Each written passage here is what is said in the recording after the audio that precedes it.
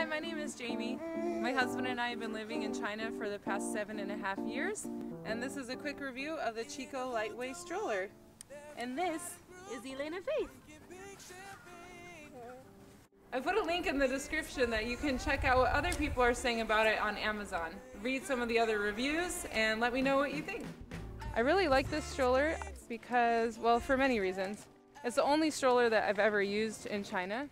I'm tall, I'm almost 5'10", so I like that the stroller, the handles are really high.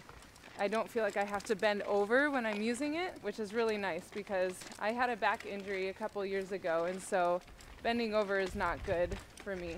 I don't have a car here, which means I have to take taxis or buses or the subway. And I do admit, when I first started using it, I had a few times trying to get into the cab where I couldn't break it down and I was just getting really frustrated and impatient and horns are honking.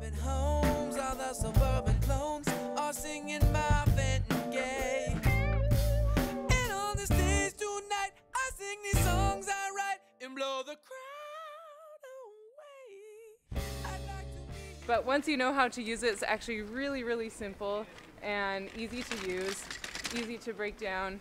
You can put things in the bottom of it, which is nice, although when the back goes all the way down, it's really hard to get things out of it, and it's not very big down there, but you can put things in the bottom. I take this to the market, to the store, because again, I don't have a car, and so I don't have another place to put it. So the stroller also acts as my car, my shopping cart. You don't want a big jogging stroller type thing because one, those probably don't break down very easily.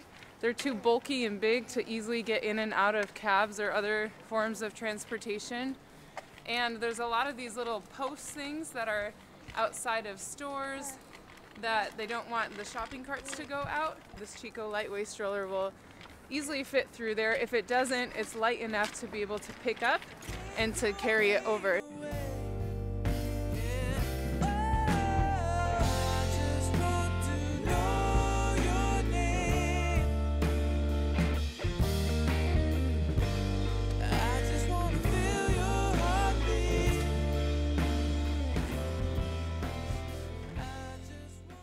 The stroller works really well um, to, to break down really easily.